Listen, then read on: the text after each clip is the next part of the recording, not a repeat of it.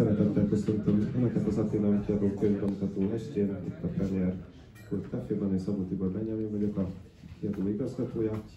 Megkülönböztetett tisztelettel köszöntöm Önök a rendhagyó könyvbemutató estnek a főszereplőit, Vida Péter színművészt, illetve Pál Dániel Levente írót, a kötet szerzőjét. Isten hozott benneteket, nagyon szépen köszönjük, hogy elfogadtátok a meghívást, kérlek foglaljatok helyet.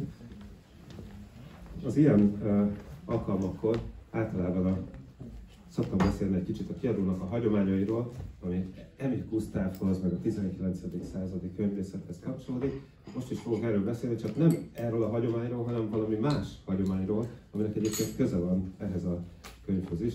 Hogy tudnélik, az Atrinam kiadó és az egész Lira csoport a 8. kerületnek a mélyén működik, az Ankó utcában, tehát arról a világról, amiben játszódik ez a könyv, cégként is nagyon komoly tapasztalataink vannak. Az első három évben, amikor elkezdtem dolgozni ott a Lirában, akkor esténként a női kolléganőket még kísérgetni kellett, mert Mátyás tér környékén voltak e, kemény figurák, illetve évente háromszor, négyszer előfordul az, hogy ilyen designer drogoktól beállt férfiakat és nőket, akik mesztelenül szaladgálnak az utcán, ilyeneket visznek ott el. Úgyhogy amikor ennek a könyvnek az első részének a kéziratát elolvas, akkor ráadásul ott is lakom, a 8. kerület mélyen, Nap utcában. Úgyhogy én pontosan tudtam, éreztem, hogy miről van szó. És a történet folytatódik egy picit más formában, mint az első kötet esetében, de mégiscsak ugyanaz a világ, ugyanaz a hang, ugyanazok a töltényhüvelyek adott esetben, meg ugyanazok a sebek az arcokon, amiről lehet azt hinni egy ideig, hogy tetoválás, de utána már aztán kiderül, hogy azok bizony pofonoknak a, a nyomai. Én át is adom a szót a főszereplőknek. Volt még egy dolog, amit megbeszéltünk Danival, hogy ezt mindenképpen elmondom Rákomban, hogy úgy emberileg, mint szakmailag ez a legjobb amit olvastam. Köszönöm szépen,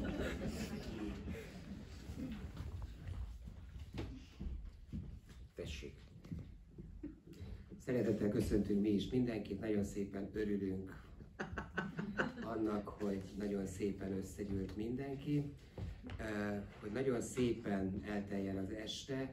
Úgy gondoltuk, hogy ha mi unalmasak leszünk, akkor más dolog tartsa itt a közönséget, ezért csak ezért hoztam ezt a társadalmat. Szívzár mikrofonnal hogy nem vagyunk elegek, akkor minden dedikálás mellé egy italt kínálunk annak, aki... Dani, lehűtsen! Poharak.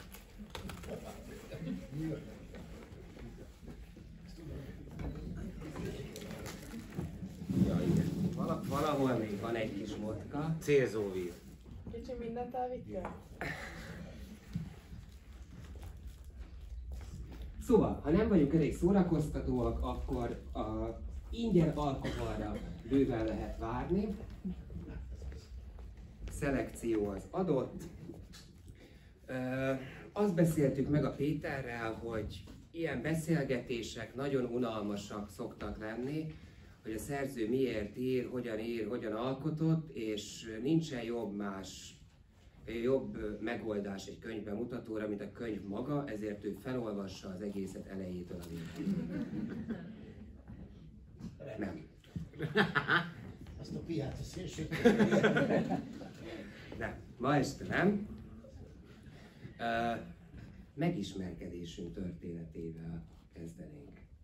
Igen, és hogyha lehet, én nem használnám ezt a mikrofont, mert szerintem lehet, ezt a teret simán persze bebeszéljük így baráti körben, és még csak annyit nem azért, hogy kijavítsam, nem én vagyok a főszereplő ennek az esnek, hanem természetesen az író. Nem is az író, hanem a... a... Igen, de a megismerkedésünk ugye az nagyon érdekesen zajlott. Én azért nyomogatok itt a telefonunkat, mert bár elítéljük, de ebből tudjuk felolvasni önöknek a mi első e-mail váltásunkat, 2017. harmadik hó 5. Tisztelt Pál Dániel Levente. Az e-mail címét sikerült megszereznem a Tália Színház színészeként a közeljövőben megjelenő az Úr 8. kerülete című kötete kapcsán érdeklődnék. Anyagot keresek saját 70 perces önálló estemhez, az ön előrendelhető kötete nagyon kíváncsivá tett, bár még nem ismerem, csak az ajánlóját. Kérdezem, van-e önnek olyan személyes kapcsolata, szerzői elígérkezése, színészbarát vagy intézmény felé, ami okafogyottá teszi a színpadi megvalósítás lehetőségét? Amennyiben nem, és esetleg előadásra alkalmasnak tartja az anyagot, örömmel venném hívását, hogy erről élő szóban is beszélhessünk. Köszönöm türelmét és válaszát várva tisztelettel, Vida Péter. Ezt az e-mailt küldtem el az akkor még számomra teljesen ismeretlen író úrnak. Válasz 2017. március 6-án az általam teljesen ismeretlenként apostrofált Vida Péter színművész úrnak. Tisztelt Vida Péter! Nagyon köszönöm megkeresését. Egyelőre az anyag nincs lekötve. Csak a bemutatóval kapcsolatban beszéltem két színész barátommal, hogy segítsenek szórakoztatóbbá tenni majd a műsort. Csatolom a könyv betördelt PDF változatát, ez fog majd megjelenni, március 30-án a boltokban lesz. A továbbiakat szerintem személyesen beszéljük meg, amennyiben továbbra is elnyeri a szöveg a tetszését, lát benne lehetőséget. Mikor lenne jó önnek egy találkozó? Üdvözlettel, Pál Dániel Levente. Válasz még aznap, harmadik hó hatodikán. Kedves Dániel, köszönöm a gyors választ és a bizalmat, olvasom a mellékletet és telefonon jelentkezem. Tisztelettel Péter. Válasz március 13-án. Kedves Péter, tudom, hogy nem rövid a könyv, de az írója hajlamos az aggodalomra. És kétségbe esésében a csajának vett hervadó nőnapi virág szírmait tépkedik. Vida Péternek tetszik. Vida Péternek nem tetszik. Vida Péternek tetszik. Megvalósul a monodráma, nem valósul meg a monodráma. Megvalósul a monodráma, ilyeneket mondogat. Üdvözlettel, Pál Dániel. Erre már nem ment válasz. Találkoztunk. Ekkor már telefonáltam, igen. Igen, nagyon érdekes nekem egy ismerősöm, szintén az Altineummal állt kapcsolatban, fordító, és ő mondta, hogy valami itt készül. És azokat a kis szösszeneteket ajánlott a figyelmemben, figyelmemben, ami a Facebookon vagy itt ott megjelent a könyvből, és aztán amikor, aztán amikor elolvastam, akkor, akkor azt gondoltam, hogy ez alkalmas lehet arra, mivel ugye a kötetnek, hogy mondjam, ö, tematikája van, ö, ö, szabadon olvasható 8 soros történetektől 8 oldalasok, akár mint egy kalendáriumot felüthetem én a végén is, meg az elején is össze-vissza gyakorlatilag.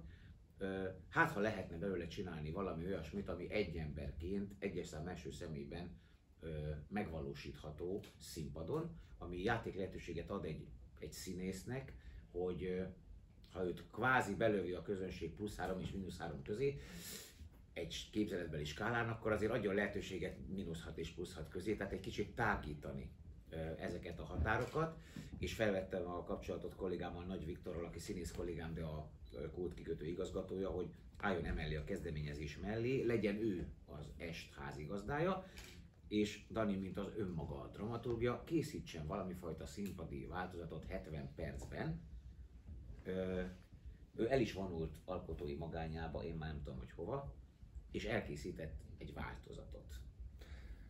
Nekem még azt mondta első körben a Péter, hogy hát tudod, fiatal barátom, minden színész eljön ez az életkor, amikor így rátör a monodráma kényszer. Igen, tehát a, a minden színész, játszik aki... bizonyos szerepeket, szinkronizál, rádió, kabaré, stb. stb. De úgy rájön, hogy ez így kevés. Vagy nem felt ez. Minden színész rájön, aki még nem csinált. Aki már csinált, az nem akar többet.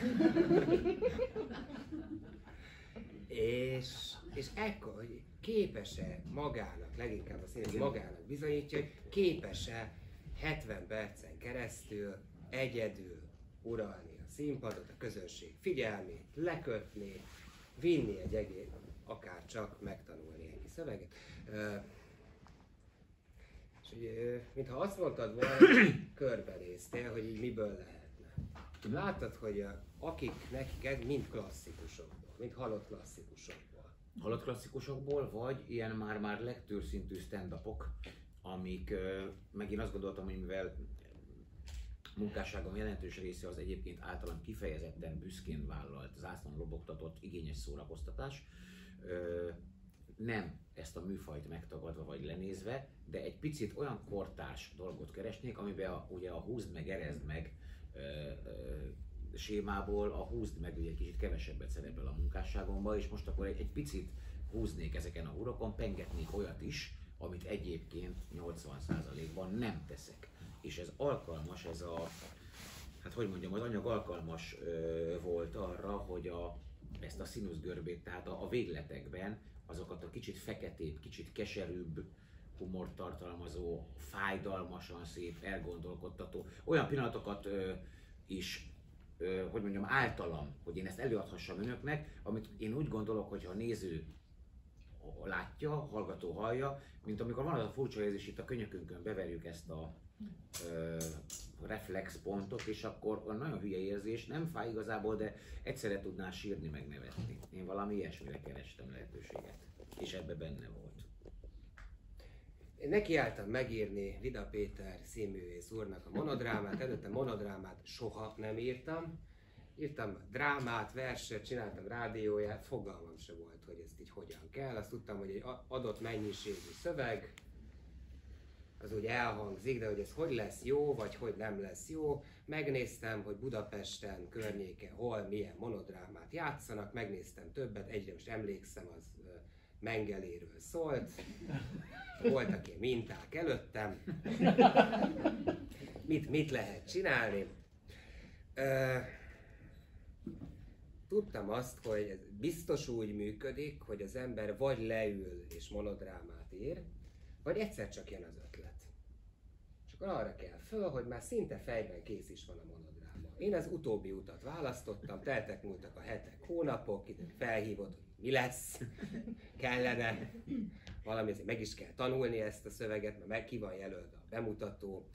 És én akkor elküldtem neki egy változatot, ami arról szól, hogy úgy volt felépítve, hogy a hősünk hajléktalan, az elején meghal, felmegy a Mennyországba, és mint a, van, van erre egy ilyen tipikus vicc, hogy a Szentpéterrel találkozik, mielőtt belépne a Mennyország kapuján, és akkor ott van valami párbeszéd, és az összes történetet azt ilyen emlékképpen idézi föl, és meséli Szent Péternek, és akkor a csattanó az valahogy visszaküldi a földre talán. Az Így egész van. egy ilyen élet utáni lebegésben játszódik, ami után visszaküldik a földre. Iszonyú büszke voltam magamra, hogy ezt kitaláltam, összeraktam, megcsináltam. Olyan slágereket még bele is raktam, ilyen brechti, fau effektként, elidegenítő dologként, mint tankcsapda, Mennyország, nem tudom. Még valami volt benne. Zámbó Jimmy Ez is egy, nagyon jó dolog. Volt benne nagyon szép például olyan is, ugye, hogy ugyanaz a történet a közös képviselő szemszögéből elmesélve a büdös hajléktalannal, aki mindig bemegy a hókatárolóba, és az életem másik szakaszán ugyanaz az ember ugyanúgy szeretne, mert őt Jolika néni mindig beengedi. És tehát ugyanazt a történetet mind a két oldalról megélt. Tehát nagyon szép volt, de ez a, ez a, ez, ez a szerkezet maga, ugye? Elküldtem Péternek, kész vagyok. Igen. Hát felhívott, hogy megkaptam, találkozzunk. Ugyanis ő azt nem tudta, hogy az én szempontomból feltalálta a spanyol viaszkot, mint uh, semmi plágium, meg semmi ilyesmi, csak én játszottam Müller Péternek a Szomorú Vasárnap című darabját, kétszer is, egyszer Miskolcon, egyszer Szolnokon. Mi? Háromszor? Teljesen. Nem, kétszer. Négyszer. És uh, annak pontosan az a lényege, hogy Seres Rezső, amikor öngyilkosságot követel és kiugrik az ablakon, akkor fölkerül a mennyországba, ő visszaáll elég, és az, hogy uraim, tekints. Ezt most ö, ö, egyfajta musicalesítve Horgos Ádám rendezésében a Madár Színház műsorára tűzte Rudolf Péterrel, egy picit át van írva, de gyakorlatilag ugyanaz a darab, és a saját nótái ö, vannak benne, és ezt nekem Sziámi rendezte Miskolcon, és egy nagy élmény volt. És pont arról szól, hogy hiába pörgeti újra élete filmjét, ő nem tud. Akarna, de nem tud más döntést hozni, nem tud kilépni a saját árnyékából, ugyanúgy lepereg az élete odáig, ahol aztán újra kiugrik, és én a darab minden erénye ellenére próbáltam kezdődő ismerettségünket nem hanvában holtnak látni, és nem megbántani a szerzőt az ügyben, hogy a szerkezet számomra már ismerős, és ha már van annyi beleszólásom, hogy a közös estet mégis én viszem a közönség elé, az ne egy ilyesfajta szerkezet legyen, mert ilyen nekem már volt. Ez kevésbé Ez nem esztetisztikusan Azt mondtam, meg a Tália színháznak a színét büféjébe, szomorú vasárnapban játszottam kétszer, azzal kezdődik a darab, hogy meghalok, lepereg előttem az életem, ez is azzal kezdődik, hogy meghalok, azt mondanák a színész ismerőseim, hogy a Vida Péter csak olyan darabban játszik, ahol az elején meghal. Én ezt nem akarom.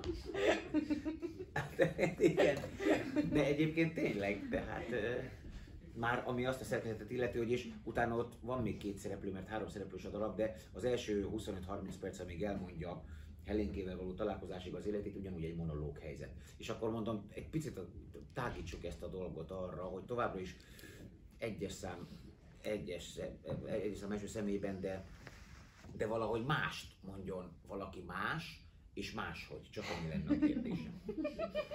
Mert ugye leültünk egy egyébként, picit, picit pislogtam, tehát hogy minden, majd, minden úgy jó, ahogy van, de nem. munkára, utáltam, Igen, mert mint a, nem tudom, Még olyan is volt, tudod, még leültünk, hogy mit szeretnél minden áron, hogy jó, a tihamér az legyen benne, vagy a jaj, vagy a izé, vagy, tehát még tartottunk ilyen közös Gondolkodom, ha állítólag olvasta a könyvet, akkor vannak kedvenc történet. Igen, én elmondtam, hogy mik, egyébként aztán van, hogy bele is kerültek bizonyos dolgok, de majd most visszaadom a szót. Én, nem én leültem.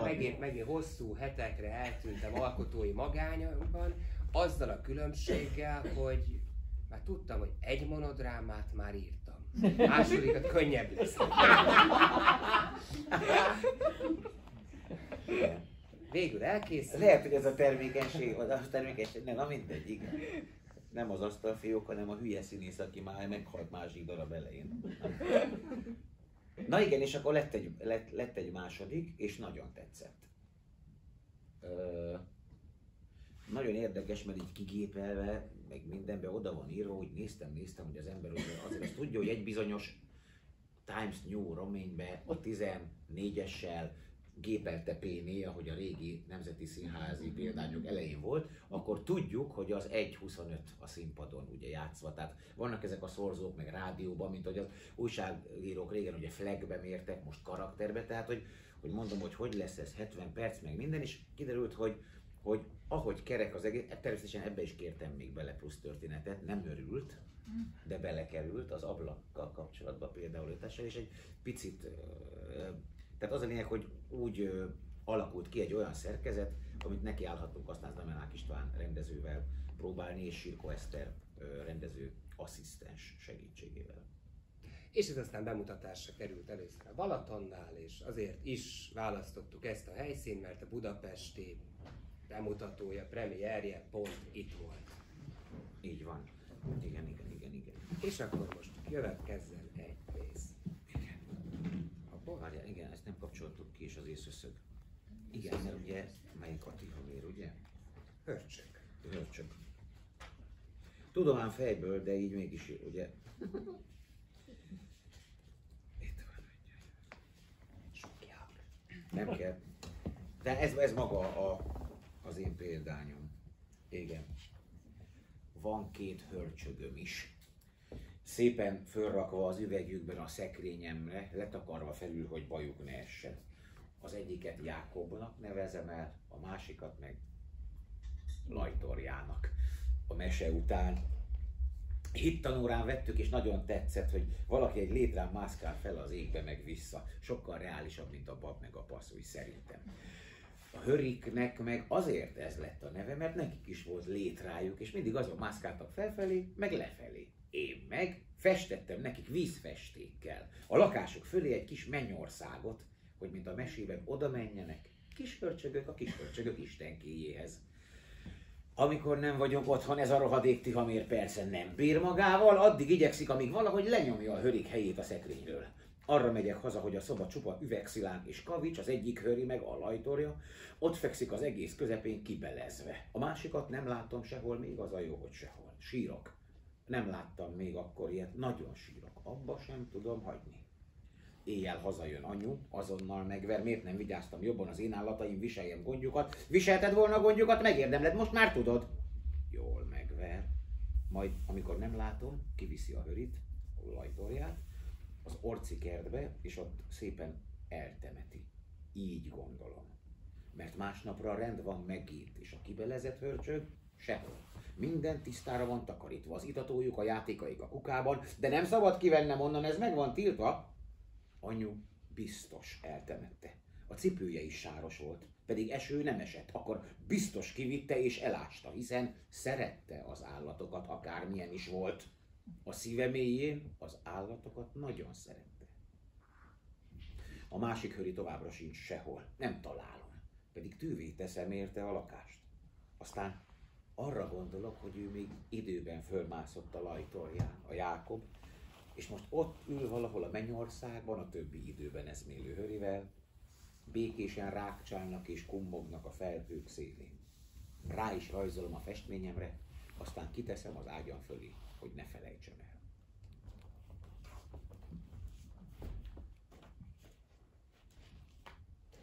Legnagyobb gond az volt, amikor ezt a monodrámát össze kellett rakni, hogy az első kötetben 154 kis novella van, és akkor már kész volt nagyjából össze-vissza a másodiknak az anyaga is.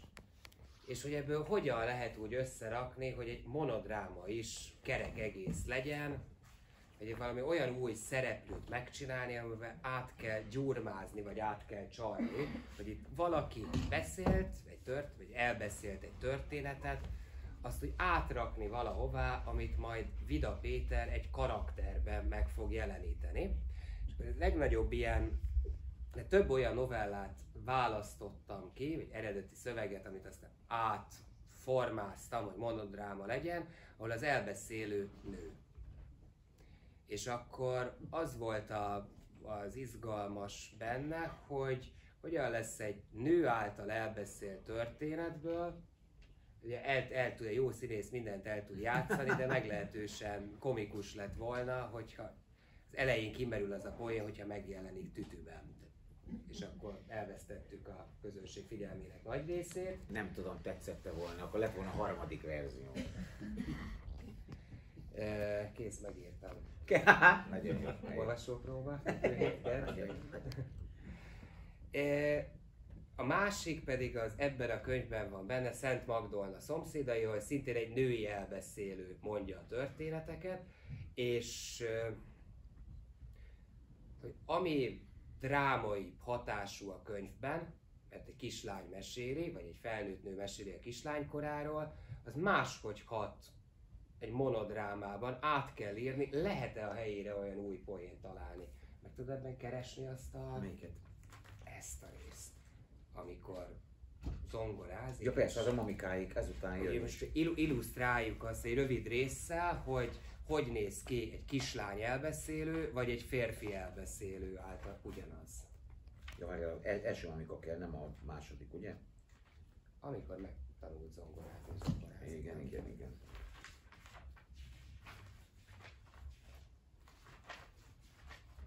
Itt van, igen. Az ibikék fölött laknak a mamikáik, erre gondolsz? Csak a legvégén, csak ez. Olvasom én, és akkor közben szerintem. Mamikának és pap- al- alapszinten megtanultam Aha. zongorázni? Aha, igen. Mamikának és papikának van egy hatalmas zongorájuk, azon sokat szokok játszani. Alapszinten megtanultam zongorázni. Erre jó volt az iskola. Amikor zongorázok nekik, azt nagyon szereti a mamika meg a papika. Csillog a szemük. Azt mondják, olyan vagyok, mintha a lányuk lennék. A lányukat látják bennem, nem a fiúkat vagy az unokájukat, hanem a lányukat. Sokszor úgy is szoknak szólítani, ahogy a lányokat hívták. Nekik én vagyok a kicsi Mari, így hívnak. Így becézgetnek, nem szólok. Tudom, hogy nagyon, nagyon nehéz volt nekik. Legyen meg ez a boldogságuk. Ez így hangzott a monodrámában, ahol ott felröhögött a közönség, mert úgy jött ki, hogy egy kisfiú, férfi meséli a kisfiú koráról, hogy őt lánynak nézték a szomszéd bácsi néni. Egészen más hangsúlya volt. Ugyanez a szöveg, Mamikának és papikának van egy hatalmas zongorájuk, azon sokat szokok játszani, alapszinten megtanultam zongorázni, erre jó volt az iskola. stb. stb. Egy kislány szájából máshogy tragikus, nem annyira vicces, mint amikor Vida Péter karakterből elmondja, hogy őt kislánynak nézték, hanem egyfajta sokkal intimebb tragédia van benne szenilitással mindenfélével keverve. Ez nyilván az egész történet, vagy az egész monodráma kontextusában tudja kifejteni azt a hatást, viszont sok más ilyen apró szövegrészlet volt, hogy hogy lehet egy női elbeszélőből egy férfi elbeszélőt úgy csinálni, hogy az itt is, a könyvben, vagy a színpadon, kikerülhetetlen, vagy a kihagyhatatlan a látvány is, az ugyanúgy érvényes legyen, vagy működő legyen, vagy a benne lévő humort az ki lehessen játszani. És voltak még ilyen apró szövegváltoztatások is. A kiadó minden munkatársát, aki a könyveken dolgozott, maximális tisztelet, megbecsülés illeti, de itt jöttek ki, amikor olvasó próbáztunk, vagy utána, hogy teljesen más most tudom, javító szemmel nézi a, a szöveget az, aki szerkeszti, Nagy Koppány Zsolt, itt az első sorban, vagy az, aki a korrektúrát csinálja, mert ő mondjuk veszőhibákat javít. A, és nem, nem olvas, tehát némán olvassa a szöveget, és amikor az ember nem némán olvassa a szöveget, akkor előjönnek olyan összeolvasások, mint hogy le van írva egy olyan szereplő, nem tudom, a néni ült kint a konyhában. Igen. Ez az olvasó próbám. Vigyázni kell, hogy mondom, ne halljuk ki, hogy ö, gyakran ül nálunk kint a konyhában, hogy nehogy ugye, mint a szá, szárnyati Géza malacra legyen, hogy azért egy picit kerüljük már a takony szó ki, ki, kiragyogását az alapvetből.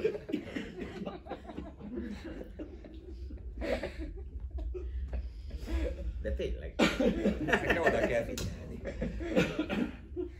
Elrontja az egész meghitt hangulatot, atmoszférát, ha egyszer csak elhangzik az a színpadról, Bóbiskola néz, figyel, takon. Gonosz a színész, olyan kedve van, akkor még rá is nyom, meg is is. Igen. Takonya konya. igen, igen, igen. igen. Jó, hát egy kis kadezat, igen. Igen, de itt nem gonosz a színész ebben a monodrámában. A másik, amit meg kellett fogni, hogy a, amit össze lehetett rakni monodrámába történeteket, az ugye nem egy embernek a története, hanem össze-vissza. Az első kötetnek az a felépítése, hogy kisfiúk, kislányok, aztán Igen, férfiak, nők. férfiak, nők, öregek, tehát így végig a, a, az életnek a különböző korszakain.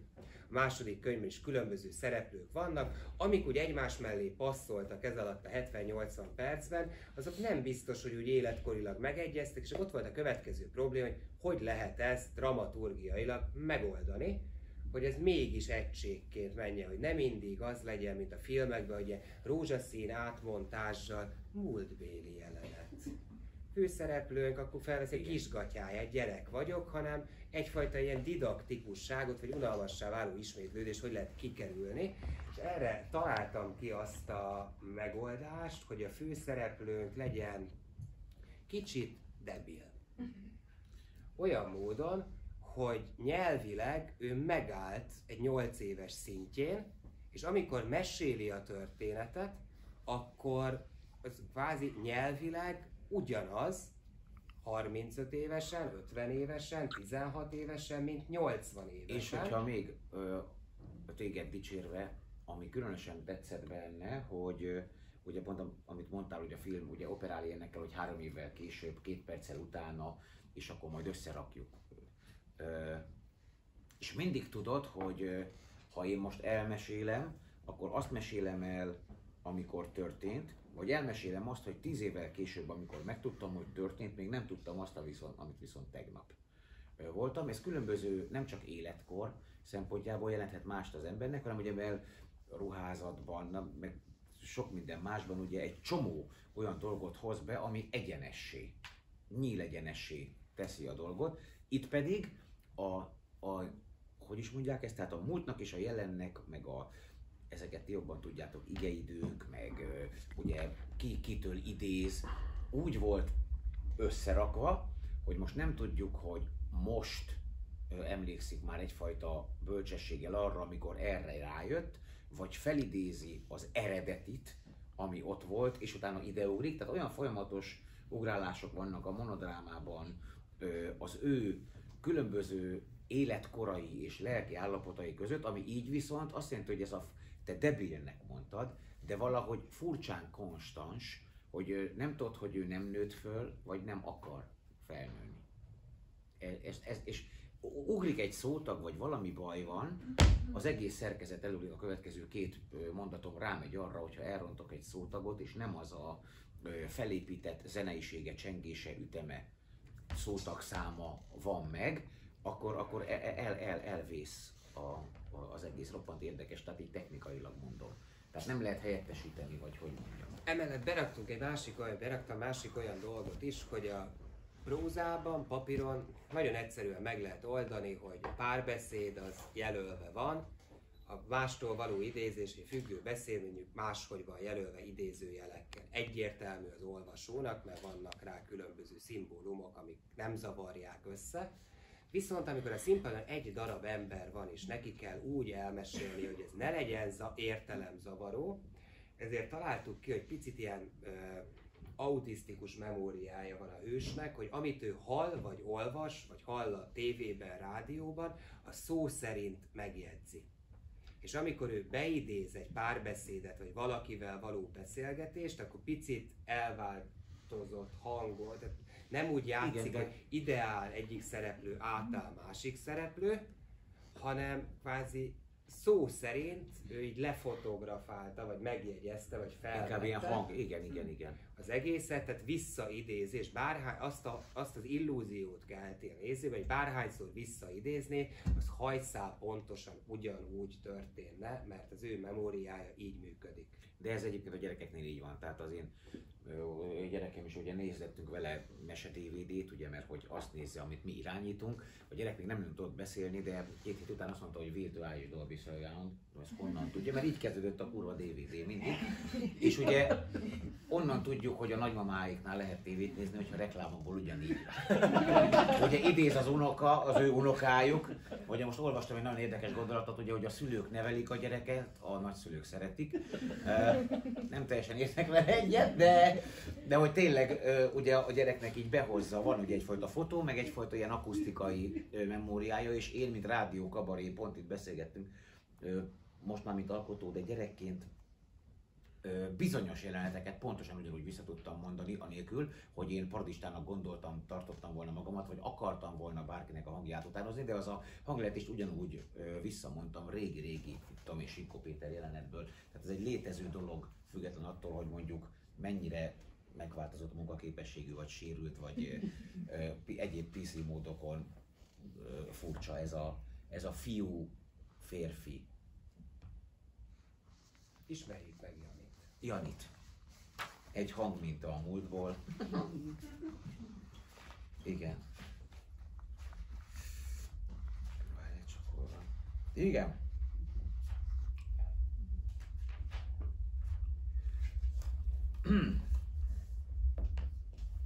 A szomszédokat nagyon érdekli ez a kád meg az egész kádban fürdés dolog, többször átkéreckednek hozzá, hogy ugye hogy próbálják már ki egyszer milyen is kádban fürdeni. Legalább egyszer ebben a rohadt életben, ha fürödjenek kádban, és ha ezt a Jóisten nem adja meg, adja meg nekik az anyu, legyen hozzájuk jó, legyen hozzájuk kegyes.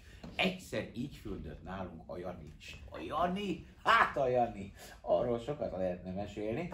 A Jani is olyan, mint én, sok tekintetben, az anyával él egy kis lakásban, köztünk az a különbség, hogy nekünk van kádunk, nekik meg nincs, és nem is lesz. Meg az a különbség, hogy a Jani már öreg, de még öregebbnek néz ki, mert igen, csak alkoholista. A Janinak ilyen tipikus, rozzant vékony feje van, arcára sült a bőre, zsírmirigy a homlokán, meg kopaszodik, de mégis itt-ott ilyen hosszabb hajszálak, meg tincsek nőnek le a fején, ilyen, ilyen, ilyen csomóba összeálló tincsek. Valahogy így nézett ki, a Jani, így kell elképzelni. A Jani átjön egy szombat délelőtt, hogy kipi kopi, kifejezetten kopantottam, csokolom, zavarok? Nem zavarok, én is így gondoltam. Tetszik tudni, én arra ébredtem ma reggel, hogy hát akkor végre fürdök én is egy kádban. Ott sem fürödtem még olyanban soha. Fürödhetek? A kádban? Persze, hogy a kádban. Ha nem jelent fennakadás, ne tessen már kádirigynek lenni. Bármikor átjövök, ha kell. Segítek én mindenben. Behordom a krumplit, meg le is söpörtem mindig a lakás előtt, tetszik emlékezni, na hát, én vagyok a szomszédból a Jani, na, akkor megfürödhetek. Anyu látja, hogy a Jani már ivott, és hajlamos kezdett válni dolgokra, összegombolja az otthonkáját, nehogy szituáció legyen a dologból. Beterelgeti a Janit a fürdőszobába, aztán megnyitja a vizet. Mondja a Janinak, hogy akkor ő most itt hagyja, fürödjön, csak törülközőt szappant hozott-e magával? Nem hozott, az se baj. Azt a kezébe nyom egyet, ami épp megszáradt a kát fölött, bekapcsolja a CD-t, becsukja rá az ajtót. Anyu főz, én el vagyok a szobában, észre sem veszük, hogy eltelik nem egy fürdésnyi idő.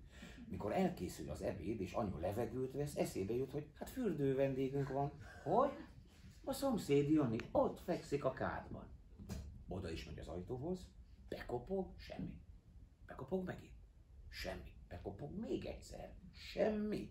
Szólongatni kezdi, erősebben kopogni, semmi, dörömbölni, semmi, majd résnyire benyit, és ott látja a Janit, kigombolt inger ruhában, cipőben az üres kádban, ahogy folyik rá a víz.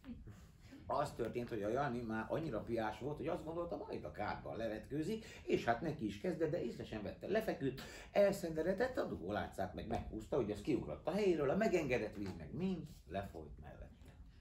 Így fekszik ott a Jani, amikor anyu rányít, elzárja a vizet, kikapcsolja a rádiót, felpofozza eszméletre. A Jani meg úgy szégyelli magát, hogy az nem emberi. Fülét, farkát behúzva oldalok ki tőlünk. Sűrűn csöpög nadrágjából a víz, cipője talpa meg nyikorog, ahogy kullog a kis lakás felé, ahol az anyjával él. Anyu szerint nem való mindenkinek a fürdés. És kát sem annak, akinek lavort adott nagy bölcsességében a jó Isten. Ez tetszik? Felírom a füzetembe. Abban gyűjtöm ezeket. Ha majd nem lesz anyu, akkor tudja, mit, merre, hány méter az életben.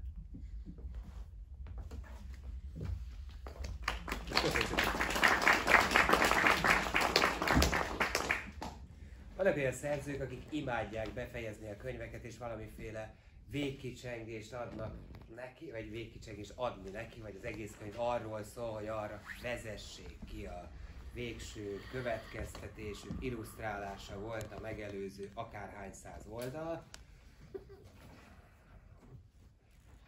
Én nem tartozom közéjük, azért sem, mert itt az alapanyag az nagyon sok pici történetek egymás mellé legózásából áll, amit egyféleképpen legóztam a könyvekben, másféleképpen Lego űrhajóból egy másik űrhajót építettem a monodrámában.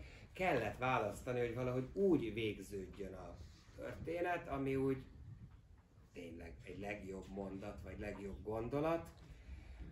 Ö, és mivel volt egy könyv, két könyv, egy monodráma, még egy rádiójáték, ezért mindig valamit kellett találni, hogy ha már itt az alaptéma a 8. kerület, mint olyan egység, akkor mit lehet úgy kihúzni belőle, hogy úgy ehhez hozzá kapcsolódni. Tehát ez mégiscsak egy ilyen kerületregény, vagy 8 kell regény, ahol inkább egy főszereplő kalandjai helyett inkább ö, azt követjük, hogy itt milyen az élet a 8. kerületben. Az első könyv az inkább egy tudom, 1990-től 2010-ig állapotnak a pillan, ilyen polaroidjai, hát aki összességében az olvasmány élmény, hogy ilyen volt az ezredforduló plusz-minusz 10 év, ilyen kalandok, ilyen figurák mozogtak ezekben az utcákban, ahol, amely utcák már talán nincsenek, mert városrehabilitáció van, a második pedig inkább az emberi sorsokra koncentrál, hogy ha elindulunk mélyebben, akkor nem csak egy-egy villanásra ugrik föl valaki, hanem sok tíz oldalon keresztül az életét nagyobb összefüggésekben, vagy a döntéseit nagyobb összefüggésekben is lehet látni. Ezért a, az első könyvnek valami olyasféle a vég kicsengése vagy a befejezése, hogy aki beköltözik a nyolcadik kerületbe, bármit randalírozik és ott az utcákon, jól érzi magát, megmarad benne örökké a nem ide tartozásnak az idegenség érzése. Kellett valamit a monodrámában is találni, végkicsengést, ott az egyik novellának a vége lett oda emelve, Igen, olyan, a szép, olyan szépen megírtam. Nagyon szép, igen. Mert ennek a kötetnek egyébként ez a, amit az előbb olvastam fel, a Jani történet a vége. Igen, Tudod, ez a Jani a végére más, került, hogy- mert Itt sok pedig ugye- visszajelzés jött, bocsánat, ezt és még egyszer más változatban fel, hogy mennyire jó ez a kádas mondat, oké, akkor rakjuk végig, és anyu szerint nem való mindenkinek a fürdés, és a kád sem annak, akinek lavolt adott nagy bölcsességében a jóisten. Ezt szokta mondogatni anyu, ez az ő legnagyobb tanítása, többi nem érdekes. Könyv vége. Itt meg ugye az előbb már a hörcsögös részben szó volt a Tihamérról, ami egy macskáról szóló történet az első könyvből, de ott ugye mivel, tehát ott cicámként szerepel, ahogy a kislány mondja, ugye? Itt az van, hogy azért maradt ugyanolyan a Tihamér is, meg az anyu is, de még a Szandika is, mert se a szeretet, se a kegyetlenség nem változtat semmit az emberen. Semmi nem változtat semmit az emberen. Amilyennek születtünk, ugyanolyanok leszünk mindig is. Ez egy élettapasztalat. Sokszor felírom magamnak a füzedbe. Nem tudok rajta túllépni. Talán nem is akarok. Talán csak felnőttem ennyi halál között. Ez a monodráma vége.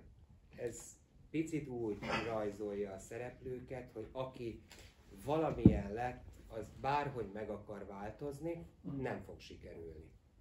Hát a- abból a jellemből, a sorsból senki nem tud kitörni, Igen. amiben belekerült, akar vagy nem akar, az neki adva van, picit ilyen determinisztikus, ilyen jellemet érintő determinisztikus gondolat. Ezt a második könyvben azért jól úgy arra próbáltam feloldani, hogy ezzel a fajta, akinek kádat, vagy akinek lavort adott, az nem biztos, hogy érdemel kádat, hogy itt olyan szereplők nyüzsögnek ebben a könyvben, akik elfogadják a saját élethelyzetüket, a saját sorsukat, icipicit azért ábrándoznak, álmodoznak, például annyira, mint a Janu, Jani, hogy életében egyszer szeretne kádba fürdeni, és akkor az neki megadja a teljességet, valami plusz, de elfogadják azt az itteni emberek, ami, amilyen az ő élethelyzetük, sorsuk, állapotuk. Ezen nem akarnak egy picit se változtatni, nem akarnak ebből kitörni, nincs egy olyan feszültség, itt mit, mit tudom én, a standard regényekben, hogy társadalmi osztályt akarnak ugrani a hősök, vagy tényleg kicsavarni a sorsukat. Itt az van, hogy ez van gyerekek, ebben élünk, jó is dolgok is vannak benne, rossz dolgok is vannak benne, alkalmazkodunk a körülményekhez. Nem feszegetik a határokat. És ez nagyjából olyan életérzés, ami nekem lejött a nyolcadik kerületnek abból a dzsungelesebb részén. Egy gúzsba kötött repülés, ha szabad ezt használnom. De repülés. Erre, erre nézzünk egy hosszabb részlettel egy példát, Az új könyvből. milyen az új könyvből, 101 A sajtónak egy, Én mutassuk a 150. fotóra, Ja. egyszerre. Hol- hol van? És most oda is, És hülye fejjel. 152, ugye? Mondja, Picit meg úgy, hogy fordulatos az ember élete, sok minden történik vele, és hogyan alkalmazkodik mindig a változásokhoz, hogy nyeli le azokat a békákat, és hogy magyarázza meg magának a körülményeket, és él tovább. De most, mint interpretáló, tehát maradok, tehát fel fogom csak olvasni, de ezt Ez egy kis női elbeszélő. Mellette lakott a Judit, a Juditék. A Juditról azt kell tudnod, hogy ő egy vidéki faluból származó fiatal lány volt, ilyen kis tisztaságmániás, ilyen kis tipikus tip-top vidéki lány. Tudod, ő nem moppal mosott fel, hanem rongyal, mert akkor tisztább lesz, a ilyenjei voltak. És ezekben nagyon kapaszkodott. Meg le is nézte a városiakat, hogy ők lenézik a vidékieket. amit ő otthonról hozott, az érinthetetlen volt. De ha abban békén hagyták, nem akarták átnevelni azt a kevés szokását, akkor kedves volt, meg ilyesmi. Na, ő volt a Judit, aki fogalmam sincs már, hogy hogyan, de összejött a házban lakó cigány család nagyobbik fiával. Fiatalok voltak, maximum 22-23, várjál, csak 20, 22 évesek lehettek körülbelül. Fontos ezt pontosan, meg, meg, megnézzem, mindegy is. Szóval ők ott laktak egymás mellett, úgy nézett ki a folyosó, hogy a Vilike anyjái normál méretű lakása mellett volt egy szoba, külön bejárattal, és ott lakott a Judittal a Vilike. Na, és ott a Vilike anyjának volt egy barátnője, valami rokon. Az is ott lakott a normál méretű lakásban. És az a nő, a nevére már nem emlékszel, futtatta a fiának a barátnőjét. Cigányok voltak ők, mint de ez nem számít. Mindenki azt csinálta, aki csak tehette, vagy volt hozzá bátorsága. Aztán ez a nő rádumálta az Ibit, a Vilki anyját, hogy futtassák már a Juditot is, mert hát legyen már valami haszna ennek a csajnak. Takarít jól van, vasal jól van, de ebből aztán senki nem lakik jól, az az igazság. És akkor elkezdte fűzni a Villikét is az anyja, meg ez a rokon is súgtak két oldalról a két fülébe, mintha rossz boszorkányok lettek volna. Tudod, mint a mesében, akik odaülnek a válladra, belekapaszkodnak a hajadba, és csak magyaráznak, súgnak, búgnak a füledbe. Ilyenek voltak. Meg is próbáltam ilyen mesésen lerajzolni, ezt valahol talán még meg is van. Na, azért némi időbe beletelt, tehát nem rögtön bólintott rá a vilike, de aztán a végén beadta a derekát és aztán a Juditot is meggyőzték. A Judit nagyon szerette a Vilikét, és azt csinálta, amit neki a Vilike mondott. Most erre mit mondjak? Jó asszonyka volt, szófogadó, engedelmes, ami ennek lennie kellett. A Vilikét sokáig kellett győzködnie annak a két nőnek. De amikor a Vilike megvolt, ő csak az ölébe vette a Juditot, megcirógatta, megpuszilgatta, szerelmesen a fülébe sugdosott, és Judit, mint egy kismadár, a tenyeréből evett. Sokat nem kellett a lelkéhez beszélni. Igent mondott ő már akkor, mielőtt leszállt volna a Vilike üléből. És aztán a Bartók nevű kocsmában, ami a Telekitér sarkán van, és nagyon sok évig Bartók kocsmaként üzemelt, aztán festéküzlet lett, ott törték be a Juditot egy biliárdasztalon. Összegyűlt a Vilikének rengeteg haverja, ittak, ünnepeltek, aztán egymás után átmentek rajta. Ez volt a szokás. Ha ez megvolt, utána aztán bárki békében strihelhetett. Megvolt, hogy a Judit hova áll ki, meg hogy ő a Vilinek a csaja, és békében ment minden. Hagyták őket, nem volt ott erőszakoskodás. Egy lányt futtatni annyi, hogy keresel egy kis pénzt. Az nem a meggazdagodás. Az a napi kétkezi munka. Így látták, így fogták fel, ennyiben is hagyták. És ha figyeltél magadra, nem akartál a napra törni, ügyeskedni, akkor nem volt ebből aztán baj. A Judit meg a Vilike voltak a legrendesebb szomszédaink. A Judit vagy állt kint a Dankó meg a Magdolna utca sarkán, vagy a Vilike hordta fel a sarokról, meg a buszmegállókból a kuncsaftokat magukhoz a zsáklakba. Ha torlódás volt, akkor leültette őket az ajtó mellett egy székre, vagy megkérte őket, hogy cigarát, cigarettázzanak még a ház előtt, kerüljék el a feltűnést, vagy kerüljék meg a ház többet. Őrizzék meg az inkognitójukat. Ebből sem volt gond. Nem emlékszem, hogy lett volna. Ahogy emlékszem, a Vilikének nem volt rossz tulajdonsága. Nem verte a Juditot, nem ütötte meg sohasem. Nem volt annak a fiúnak egy hangos szava sem a Judithoz, főleg nem. Vitte moziba minden szombaton, babrusgatta, Szerette nagyon azt a lányt. Emlékszem, reggelente még énekelt is neki. Ahogy kinyitották a zsáklakban az ajtót, hogy kiszellőzött az éjszakai doh, meg a nyírkos öreg falak savanyú szaga, szóval, ahogy kinyitották reggelente az ajtót szellőztetni, mindig hallottam, hogy a Vili dúdol és énekel. És azt olyan átható szeretettel tette, hogy egészen biztos voltam benne, a Juditnak énekli ezeket így ébrezgeti, így keltegeti, így engedi, hogy felkeljen egy következő napra, hogy aztán végezze a dolgát rendesen, tudjanak miből megélni. Ez olyan szép volt így együtt, hogy a Vilikébe titokban én is beleszerettem. És olyan életet szerettem volna, mint amilyen nekik kettejüknek van. Hogy nekem az én uram majd minden reggel dúdoljon, és énekeljen. És amikor az első napsugarak melengetni kezdik a szemhéjamat, amikor érezni kezdem, hogy a meleg kicsit landíroz a takaró alól, és már ki kell dugjam a lábamat, mert nem bírom, hogy melege van, akkor az én lábamat az én emberem két meleg tenyerébe dugjam. És ahogy kinyitom a szememet, fonja körbe a szemgolyómat, ahogy nekem, csak nekem, gyönyörű hangján dúdol, dudorászik, szerelmesen.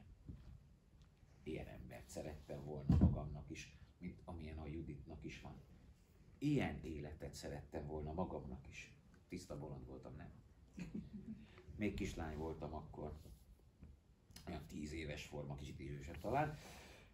Hajnalban direkt ezért keltem fel, hogy kinyissam az ablakot. És aztán csak erőltettem, hogy kinyissam a szemem is, nehogy visszaszendergéljek, nehogy elaludjam a Villike kora reggeli madárdalát. Ültem az ágy szélén, fogtam a csálé fülű plüssrókámat, amit még anyu vett nekem, azt nagyon szerettem. Ültem ott a rókával, jaj, most is nagyon emlékszem, ahogy azt szorítottam. Így raktam egyik kezemből a másikba, hogy, hogy így, így számoljam a másodperceket, hogy, hogy, hogy így tartsam, erőltessem, hogy ébren maradjak, hogy keljen már fel az a vilike, énekeljen már, vessem meg az a nyomorult, hanem, és hogy ébresszem már ő a dalával, ne nekem kelljen már rávárnom, hogy végre felébredjen, hiszen már rendes ember ilyenkor fogat most. Kenyeret csomagol, öltözködik, megy is a munkába, ő meg így ráér, hogy a nap is a hasára süt, már énekelj már te rohadék, hogyha már felkeltem miattad, arra ne aludjak el, ne csak úgy a néma semmibe. Így ébrezgettem magam. Így tartottam magam ébren, hogy ott üldögélve, moccanatlanul várjam meg, mire kinyitja az ajtót ez a vilike. Igen, jól hallod. Nem nagyon lehetett ott mozognom, mert azzal akkor felébresztettem az anyut. És anyu nem nagyon, aztán már nagyon nem szerette, ha a vilike miatt pattan ki a szemem. Inkább befogta erőszakkal, hogy aludj már kislányom, mert ha így kelsz fel, megszokod, és te is olyan leszel, mint ez a Judit és aztán már a vastag kék műanyag papucsával verte a fejemet, meg a szememet, hogy aludj már, nem akarom, hogy olyan legyél, mint a Juditka, nem ezért szültelek téged a világba, hogy ilyen legyél, te is. Én nem értettem anyut, mert mindent összevetve mégiscsak a Judit meg a Vilike voltak a legrendesebb szomszédaink. Nem ittak, nem szívták a cigiket meg a drogokat, nem ütötték, verték egymást, nem kiabáltak, nem volt ott náluk a kis zsáklakukban olyan pokolság, mint az összes többi lakásban, mint mindenkinél körülöttünk. Nem értettem én az anyut, hogy miért veri ezért a fejemet. Mégiscsak jobb, ha olyan vagyok, mint ez a Judit, az ő vilikéjével, mintha olyan leszek, amilyen az én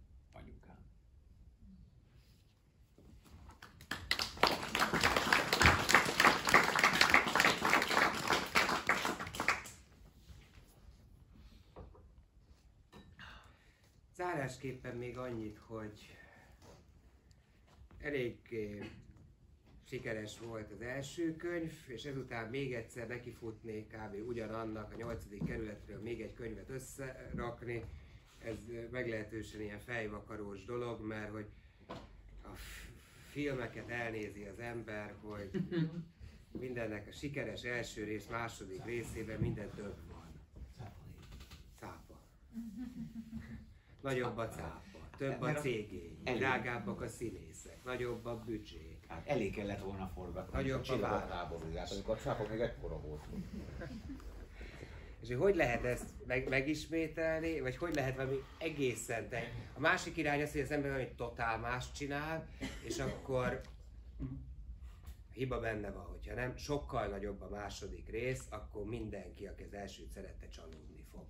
Vagy valami teljesen más csinálunk, ezek főleg a zenekaroknál lehet látni, hogy valami új stílussal kísérletezik egy bármilyen együttes, mert ők a countryból váltak.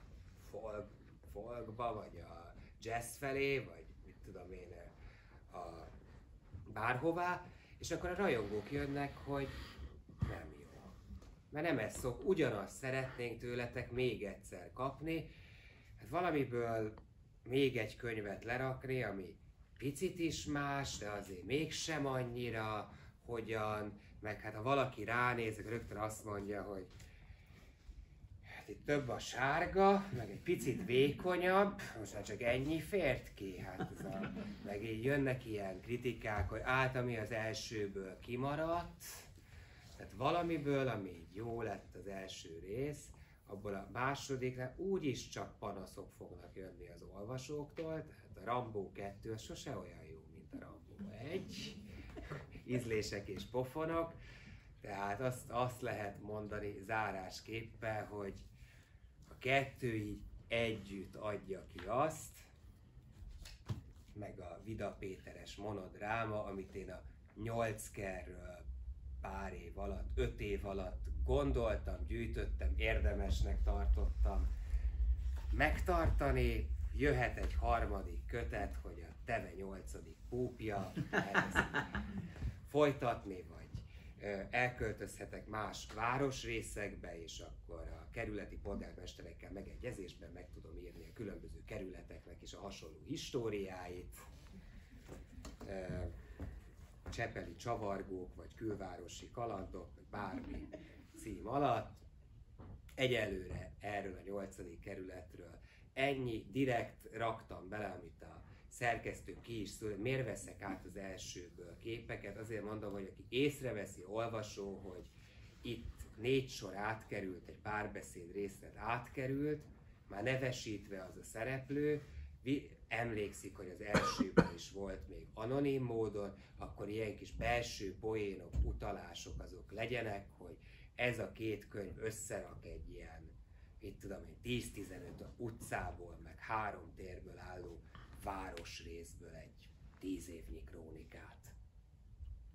Van a második részben még egy olyan is, hogy ilyenkor az ember elindul, hogy mivel lehet még kiegészíteni, hogy könyvtározás, levéltározás, nem csak ilyen utcáról felszedett sztorik, van benne egy olyan hosszabb rész, ami egy idegen, egy egyébként megtörtént idegenvezetésnek a krónikája, hogy az ELTE külföldi nyári egyetemén tartsak ne csak a várat nézzék meg, meg a, a hősök terét idegen vezetésen, lássanak egy kicsit szociót is a külföldi vendéghallgatók, és ez valami augusztusi roppandögé 45 fokos városi melegben volt. Megjelenek a helyszínen a Asztúria mellett, ahol volt a találkozó, és kezdődik az idegenvezetés, és hát eredetileg én egy 20-25 emberre számítottam, ott voltak majdnem 70-en, és csupa fiatal lány, 45 fokos. Jó, akkor megy, megyünk a nyolc kerbe. És akkor ez a, ennek a, erre az idegenvezetésre ráfűzve egy csomó olyan még ez annól felmerült, mert ezt annól átküldted igen, szintén Wordbe, hogy mi lenne, ha aztán nem az lett. Szerette volna, hogy 70 lányt vezet. Végül is az az igazi monodráma, ahol az nem monodráma. De hát azért az, az a második, nem, nem látod te a császár háremét, de tudod, hogy van. És olyan magányos benne.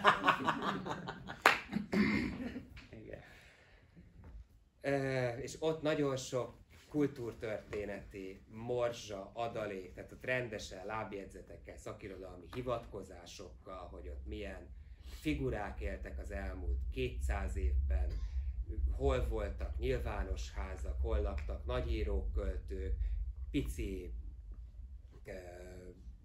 utcanév történet, pici cigányzenész történet, pici történet az 50-es, 60-as évekből, amikor feltelepítették vidékre a, a különböző falukról, a különböző uh, cigányokat, és egymás között volt konfliktus, illetve van benne egy rövid színház és varieté történet is ami a nyolcadik kerülethez kapcsolódik, mert ez is egy olyan rész, ami, ami kiegészíti az első kötetet, és ilyen módon, hát ez egy picit ilyen Oktatási fikciós... segédanyag. Oktatási segédanyag.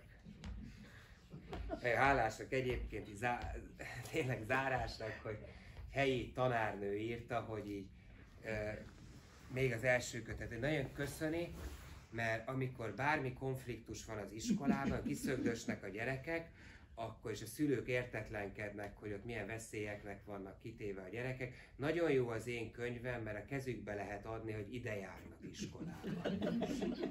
Olvassák el. És szerintem Az állásképpen pedig az legyen, hogy lássuk az író urat szerepben. Igen, 99-es. Mhm. Töltényhüvelyek című történet.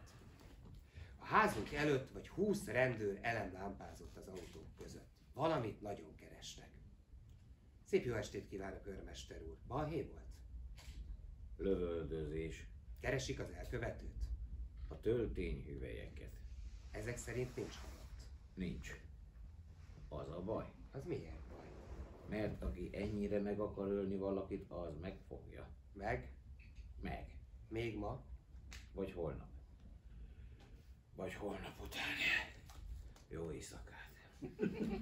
Köszönöm, hogy itt voltak. Jó éjszakát. Bye bye.